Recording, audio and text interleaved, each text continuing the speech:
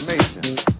Because what had happened was that I had found out later on, unfortunately, in my education about people like Langston Hughes, about people like Sterling Brown, about people like Countee Cullen, Jean Toomer, and Claude McKay. And these people had taken the blues as a poetry form back in the 20s and teens during the Harlem Renaissance, and they had fine-tuned